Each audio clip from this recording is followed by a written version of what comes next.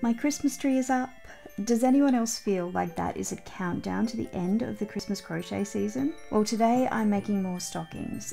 This pattern has stripes and a contrasting colour for the toe and heel. You can hang it on your tree, or your friends can hang it on their tree after you give it to them stuffed full of goodies. I'm using DK yarn, but you can use the yarn you have to hand. Just remember, a worsted weight yarn will make a bigger stocking and a baby yarn will make a tiny little one. You'll need three colours. I have sea green and burgundy for the stripes and fawn for contrast. A pair of scissors for snipping, a needle to handle the tails, and mine is impaling my long suffering little sheepy here. And of course your crochet hook. I've got my 4mm hook, but please use the hook that matches your yarn. We'll start with colour 1 and make a magic circle. If you're not comfortable with magic circles, you can start with a chain 4 and slip stitch it together to make a little circle, the same way you do when you're making granny squares. If you're not confident with magic circles, I've popped a link up on screen for my magic circles tutorial. You can watch that and make the circle, then come back and join me for round one. When you have your circle, magical or otherwise, we can start the round. We're going to work in half double crochet, so start by chaining one to get up to height, then we'll put our first of 10 half double crochets into the circle. Yarn over, insert your hook into the circle. There are two loops on my hook here, plus two strands of yarn from the circle and its tail. Yarn over and pull up a loop. There are three loops on the hook. Yarn over and pull through all three loops. That's a half double crochet. We need nine more in the circle for round one. Make sure you work all of them over the tail of the circle. I'll leave you to do that Pause the video and meet me when you have 10 half double crochets in the circle. Tighten up your circle a little to bring the ends closer together. We're going to slip stitch to the first half double crochet. If you have trouble recognizing your stitches, you can find the first half double crochet by counting back from the last stitch you made. Don't count this loop that was on the hook, count the V shape. So this is one, two, three, four, five, six, seven, eight, nine, ten, and 10 is the first half double crochet. Insert your hook under two loops of that V, yarn over and pull it through the stitch, then pull it through the loop on your hook, now you can pull on the tail to tighten up the circle completely. This will keep the circle closed while you're crocheting, but you need to sew the tail in to stop it from unraveling. Round two's also worked in half double crochet. We're going to double our stitch count to make the circle bigger. Chain one to get up to height. The first half double crochet goes into the first space, just here. Yarn over and insert your hook under two loops of that stitch. It's a little tight because it's the other side of the slip stitch. Pull up a loop there are three loops on your hook. Yarn over and pull through all three loops. Now work a second half double crochet in exactly the same spot. Just squish it in there next to the first one. We're going to put two stitches into every space for this round. So I'll get you to pause the video and unpause when you have 20 stitches. When you have 20 stitches, your circle will look like this. Notice the gap I haven't missed a stitch. The gap is the top of the slip stitch join from round two. It counts as the other half of the first space we worked in. So if you work in the first space and into the top of the slip stitch join from the round below, you'd increase your stitch count each round, so we're leaving it empty. Next, we slip stitch to the top of the first half double crochet. If you have trouble recognizing your stitches, you can count back to it. Don't count the loop on the hook, count these V's. Count back and slip stitch to number 20. Slip your hook under two loops of the first stitch. Yarn over and pull through the stitch and pull through the loop on your hook. Now we can start round three, which is a nice easy round. Chain one to get up to height and put one half double crochet into each stitch, starting with this very first space here. I'll see you when you have 20 half double crochets and we'll finish the round together. At the end of round three, your circle will look like this. There's that gap again, exactly where it should be. Now we're going to slip stitch to the first half double crochet to finish the round. Remember that you can count backward to find it if you need to. Once you've worked that slip stitch, pop your work so you're now working around the outside and the tail from your magic circle is inside what will eventually become a stocking. We're actually going to cut this yarn as we're not going to use this colour again until we reach the heel. Leave yourself enough of a tail to do the weaving in. Pick up colour 2. My colour 2 is the burgundy. I've not tied a knot or done anything fancy, I've just folded the yarn to create a bit of a loop. I catch that loop with my hook and pull it through the working loop on my hook. Now I'm going to tighten this up a bit.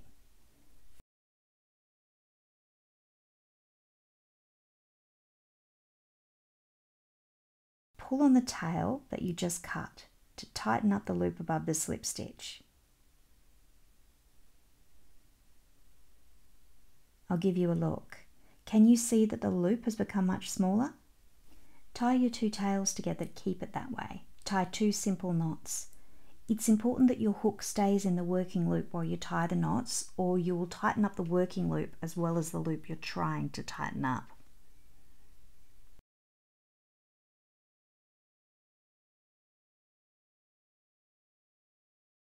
There we go. Let's head into the next round in this lovely new colour. It's again worked in half double crochet and we're going to chain one to get up to height. But we're going to put our first stitch in a slightly different spot. However, if this is too confusing, you can simply keep working each round starting in the first stitch as we did in round three. You'll just have a slightly less straight seam.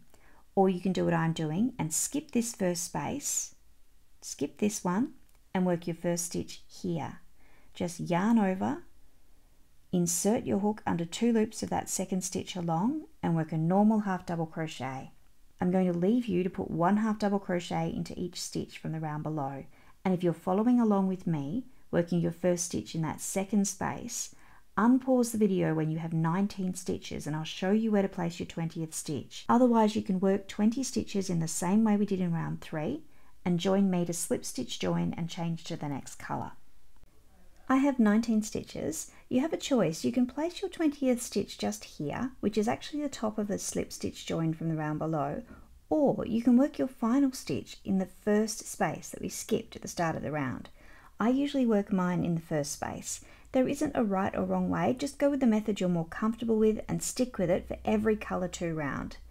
If you're working in the first space, yarn over and insert your hook. Ignore everything that is between you and that spot and work a normal half double crochet. You might need to wriggle the stitch around after you've made it to make sure it sits properly. When you've placed your 20th stitch, we're going to slip stitch to the first half double crochet to finish this round. Whatever you did for this round, you're going to do for every round worked in this colour. So if you didn't skip the first space and you worked this round like you did round three, do that for every colour two round. If you skip the first space and put your final stitch in the top of the slip stitch join, do that for every colour two round. Or if you skip the first space and put your final stitch into the first space, do that for every colour two round. We've finished round four, that means it's time to change colour again. You're going to get really good at changing colour crocheting this stocking. The colour changes for stripes will get easier after this round as we'll have the yarn attached. So fold colour three and hook it onto your hook and pull it through the loop on your hook. Next, we need to tighten up this loop in colour 2. To do that, we'll tie a knot, but this time we're not going to cut the colour 2 yarn. So you'll be tying a knot using the tail of colour 3 and the working piece of colour 2. Make sure you keep the hook in the loop to keep the loop open. Pull on the colour 2 yarn so the bit of colour 2 that's visible above the slip stitch is pulled out of sight then you can tie two simple knots using the tail of the new yarn and the working piece of the yarn we've just stopped using. While you tie those knots, I'm going to explain how we'll handle the yarn when we change between colour 2 and 3 for each round. I figure you probably aren't keen on the idea of cutting the yarn and weaving in the ends every single round. This is the inside of two stockings, both made to this pattern. There's this red and green one on the left and this one, which I'm making with you right now. We've jumped forward in time. When I made these stockings, I tried two different ways of handling the yarn when I switched colours. For this one on the right, for most of the stocking, I carried the yarn under my stitches. I worked the stitches in each round over the working yarn for the next round so it was held in place and I brought it out when I was ready to switch colours. For this stocking I did not work my stitches over the yarn. I just left the colour I wasn't using hanging at the back and I picked it up when I was ready to use it again. Both of these methods let you avoid cutting your yarn so you can use the same strand of colours 2 and 3 from when we start the stripes to the top of the stocking. But after doing this little experiment I've come to much prefer this method. I think it looks neater and the stocking is actually stretchier. This stocking isn't as stretchy because it has bands of tension running across it from where I carried the next colour of yarn around with me. I was careful not to pull the yarn I was carrying under my stitches tight, but this happened anyway. The other downside of working your stitches over the yarn is that it uses more yarn, and I think it isn't any neater looking. It might even look worse than the other method, and it's definitely more effort. So I recommend you just let the yarn you're not using hang at the back of your work, minding its own business, and just pick it up when you're ready to start using it again. You don't need to tie a knot each round. We only tied knots with the first stripe of each colour because we were working with tails. Now that yarn's attached, we can start round five. When we use colour three, we're always going to work in single crochet. We're not going to chain one to get up to height because we've got a little height from the join. And for colour three rounds, we'll always work the first stitch in the first space. Let's do the first single crochet together. Insert your hook, yarn over and pull up a loop. There are now two loops of yarn on the hook. Yarn over and pull through those two loops. I will leave you to single crochet around the circle. Unpause the video when you have 20 stitches and we'll finish the round together. It's easy to see where you need to work the slip stitch because it's the first bit of colour 3. It's time for round six, so we need to change colours again. Drop colour three at the back, pick up colour two, yarn over and pull it through the loop on your hook. Next, pull that little bit of colour three out of sight. Just pull on the colour three tail and it will tighten up a little. And chain one to get up to the right height to work half double crochets.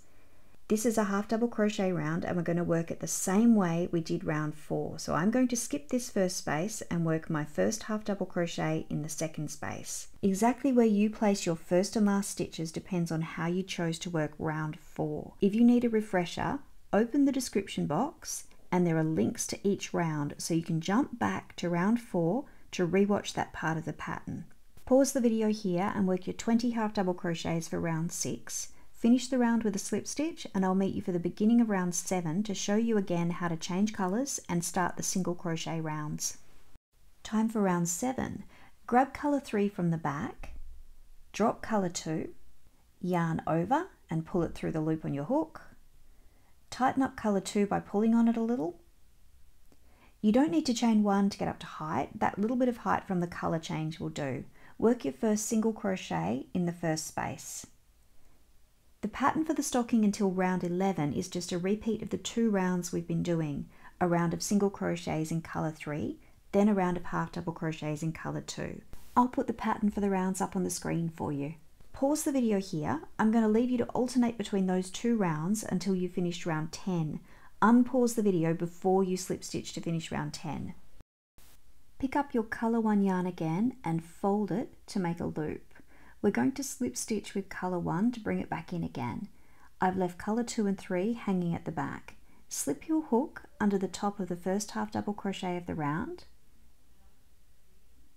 Hook colour 1. Sorry, I don't know why I'm making that look so difficult. And pull it through the stitch and pull it through the loop on your hook. We're not tying this to anything this time, we're just going to start working with it. So leave that tail hanging at the back with the tails from colour 2 and 3 and chain 1.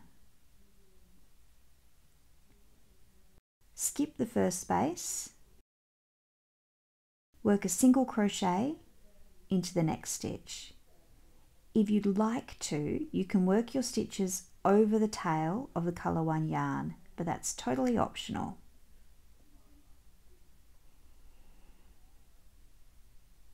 In the next space, work a half double crochet.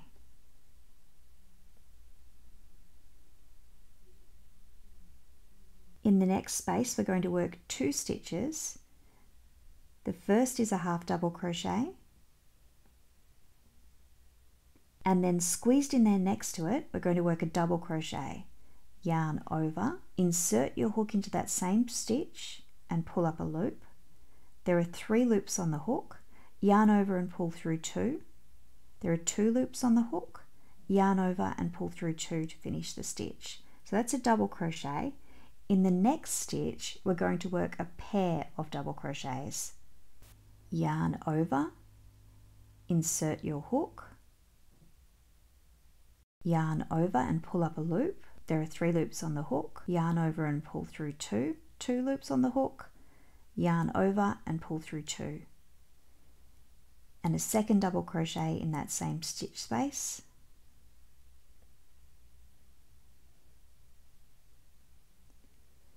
And in the next stitch, we're going to work another pair of double crochets.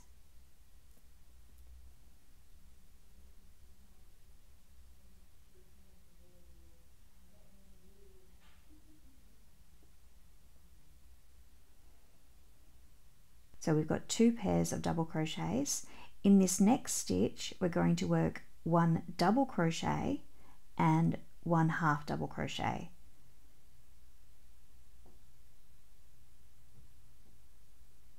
That's the double crochet and in the same stitch, a half double crochet. In the next stitch, a half double crochet on its own.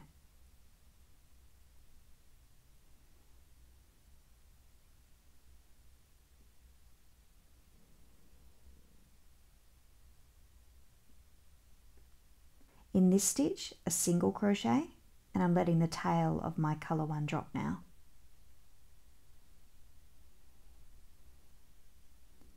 Skip the next stitch entirely and slip stitch to the one after it.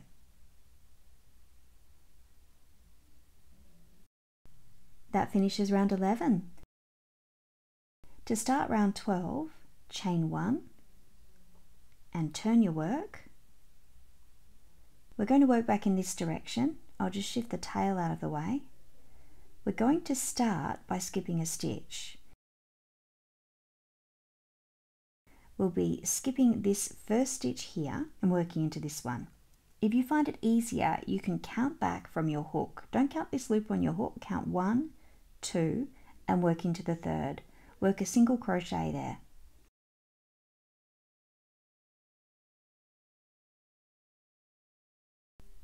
And a single crochet in the next stitch as well.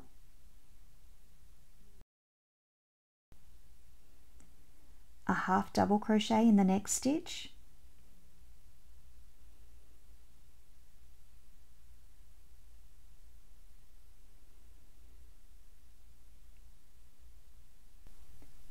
In the next four stitches, we will work double crochets.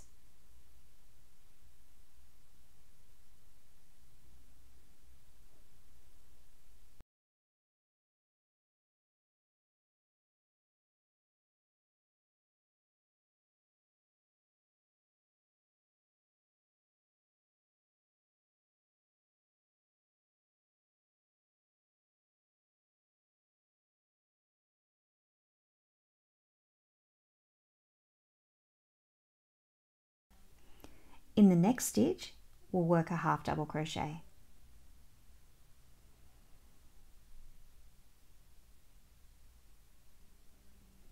A single crochet in each of the next two stitches.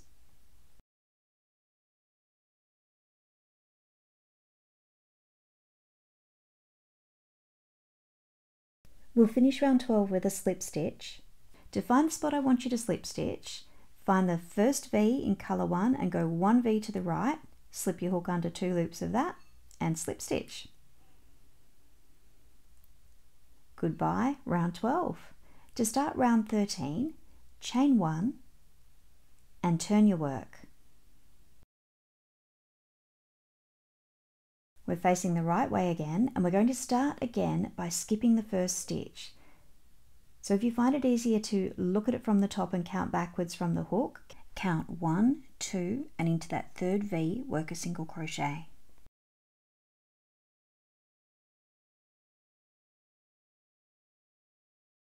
The next two stitches each get half double crochets.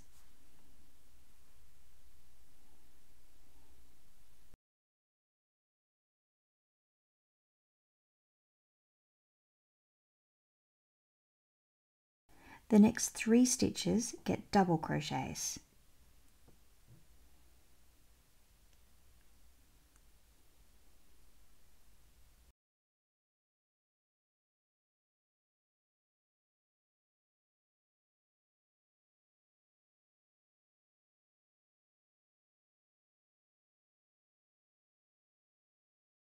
The next two stitches get half double crochets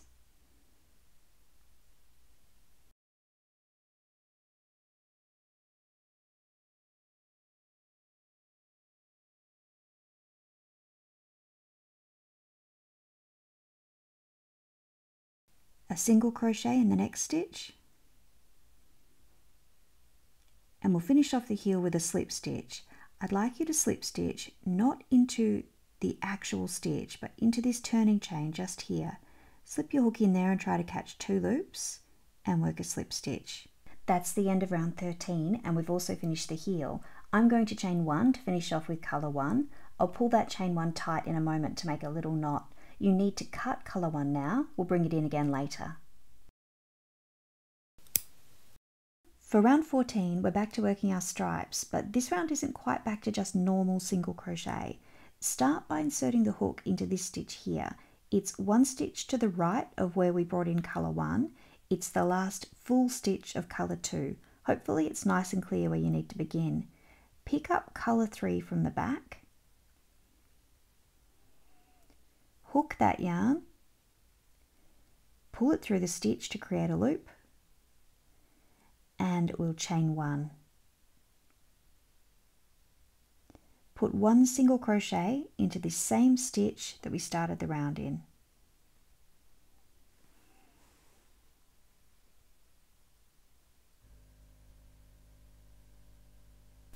The next stitch is called a single crochet decrease or a single crochet two together.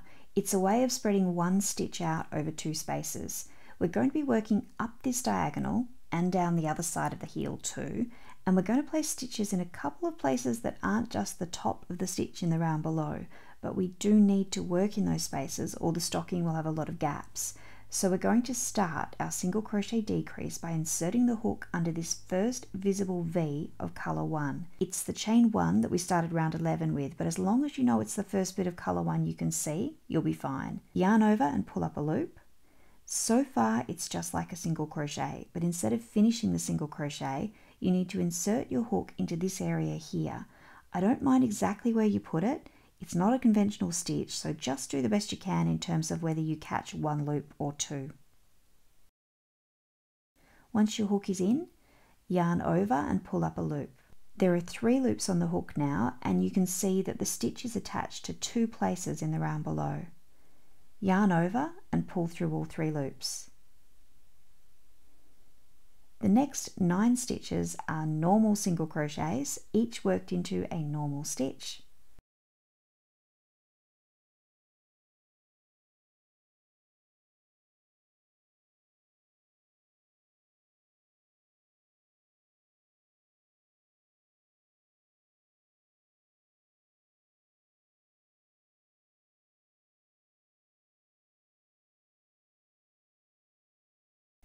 When you've worked nine single crochet, you'll be looking at the other side of the heel. We're going to work another single crochet decrease over this area here. Insert your hook, yarn over and pull up a loop. Instead of finishing the single crochet, insert in here. I only caught one loop and that's okay. Yarn over and pull up a loop. There are three loops on the hook. Yarn over and pull through all three loops. That was the last decrease of the stocking. We'll work the next stitch here. We'll skip this stitch that has the slip stitch in it and work a single crochet in this empty stitch. From this point, the round is easy. You're going to put one single crochet in each stitch until you're back to the beginning of the round. I'll see you there. This is what the end of the round should look like. Don't leave a stitch empty at the end of the round. We didn't start this round over a slip stitch. There shouldn't be a gap between your last stitch and your first stitch. Finish the round with a slip stitch to the first single crochet.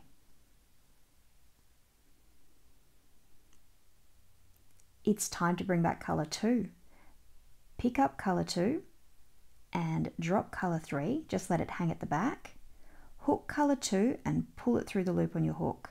Tighten up the last bit of colour 3 and we can start round 15. This section of the stocking follows the same pattern as the earlier stripes. So I'll put that pattern up on the screen for you and leave you to alternate between colours, working this round in half double crochet and the next in single crochet and so on. I'll meet you at the end of round 22, which is the last round in single crochet and it'll be time to finish with colour 3.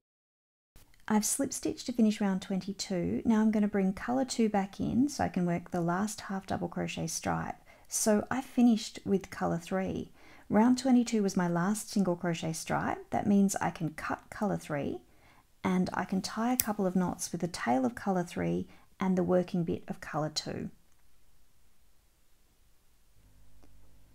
Now these knots I've got you tying, they are good to temporarily secure your tails and if you're giving this stocking to an adult and it's not intended as a family heirloom, you could probably trust these knots to keep it secure. However, if you're giving these stockings to a child or you really want them to last, I really recommend you sew the tails in as well once you finish the stocking. Round 23 is a normal half double crochet stripe round. Pause the video here and half double crochet around the circle, but unpause the video before you work the slip stitch. Finish round 23 by slip stitching with colour 1. Insert your hook under the top of the first half double crochet drop colour 2 for the last time, pick up colour 1 and fold it, hook colour 1 and pull it through the stitch and through the loop on your hook. Now you can cut colour 2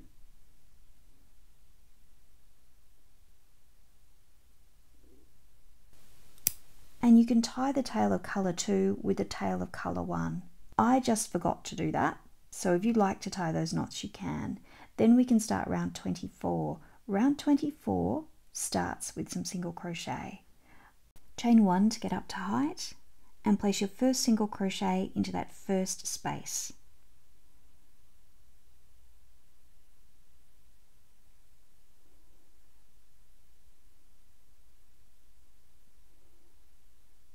And place one single crochet in each of the next four stitches.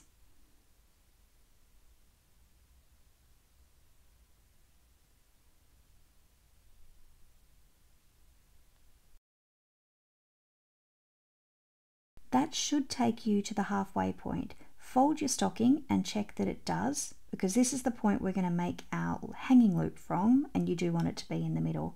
If you are at the halfway point, you can make a chain. I'm going to chain 25. The length of your chain will determine the length of your hanging loop, so make as long or as short a chain as you would like.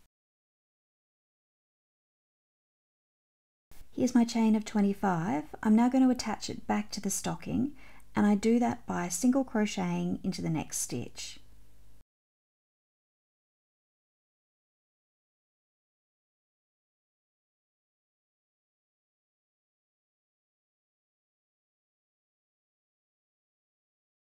And continue putting one single crochet into each stitch until you're back to the beginning of the round. Finish round 24 by slip stitching to the first single crochet.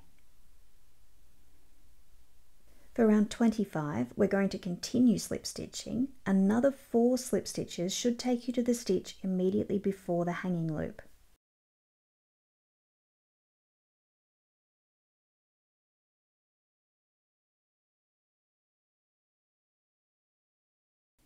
We've now reached that small gap. To close the gap, slip stitch straight into the next single crochet. Now that we've closed the gap, we're going to strengthen this loop by slip stitching along the chain as well. To do that, just insert your hook into the chain. That's the first chain there. Catch one loop of it, yarn over and pull through the chain, and pull through the loop on your hook. And do the same all the way up that chain.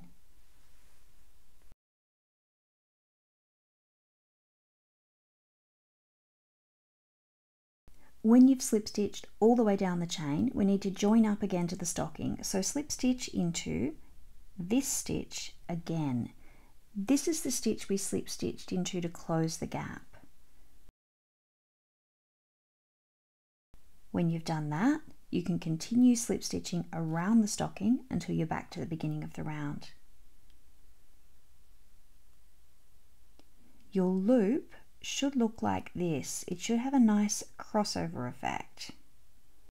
I'll leave you to work the rest of the slip stitches and I'll meet you at the end of the round to show you how I finish off the stocking. When you're back to the beginning of the round, we need to finish off. Of course, you can do that in whatever way you like, but my preferred method is an invisible join. And to do that, I need to cut my yarn and leave myself a bit of a tail so I have enough yarn left to sew the end in. I haven't chained one or anything. I'm just going to slide the hook out, pulling the working loop out so I have a tail to thread onto my needle.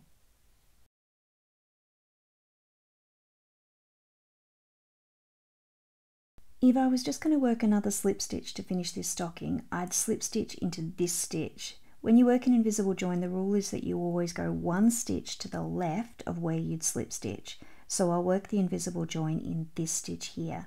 Take your needle under both loops of the slip stitch, not the single crochet underneath it, the slip stitch from the last round, pull the yarn through. Now identify the last stitch you made, which is this slip stitch, and find the spot the yarn comes out of it, the middle of the stitch. Insert your needle there and take it out into the inside of the stocking.